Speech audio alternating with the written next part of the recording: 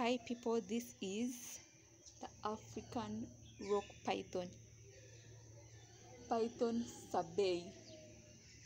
It is common in the sub-Saharan region, especially in the Central and South African regions. It usually feeds on birds, smaller TB, large mammals like rabbits. Pythons are commonly I think it can eat a person. rescued from communities. And shortly before this, it For was emergency moving.